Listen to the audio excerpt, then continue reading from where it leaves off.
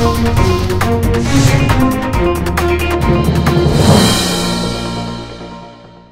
Wakil Ketua Komisi 6 DPR RI Inas Nasrullah Zubir meminta Presiden Joko Widodo untuk memacu peningkatan sumber daya manusia setelah memprioritaskan pembangunan infrastruktur. Usai sarasehan DPD RI di Gedung Nusantara 4 DPR RI Senayan Jakarta, Inas mengatakan, kualitas SDM Indonesia telah tertinggal jauh dari negara-negara maju di dunia. Untuk itu pemerintah harus dapat segera mengejar ketertinggalan tersebut dengan mengeluarkan kebijakan yang pro rakyat. Salah satu faktor pendukung kemajuan ekonomi dan SDM adalah adanya dukungan infrastruktur yang memadai sesuai dengan tujuan pembangunan nasional yang dicanangkan oleh pemerintah secara komprehensif dan terukur. Cara untuk percepatan perkembangan perekonomiannya, infrastruktur itu sangat penting.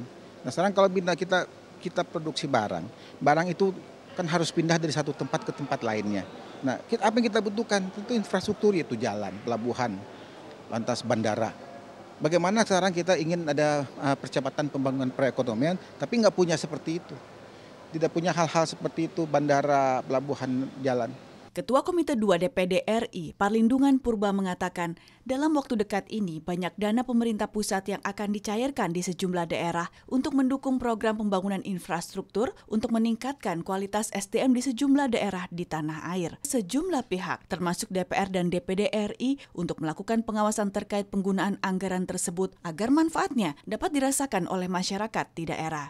Pembangunan infrastruktur itu adalah hal yang paling mendasar untuk menjadi eh, prime mover karena kita ketertinggalan dalam hal ini. Nah setelah ini beliau akan masuk kepada pendidikan SDM walaupun selama ini pendidikan SDM sudah berjalan. Habibie Mahaba dan Heri TVR Parlemen melaporkan.